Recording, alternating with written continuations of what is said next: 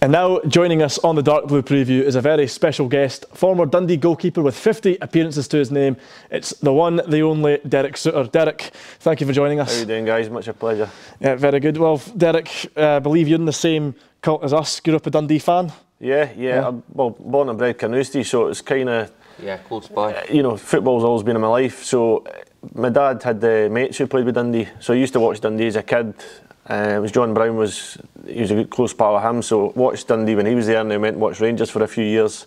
And by that time, I'd grown up and got involved with the club, so it was great.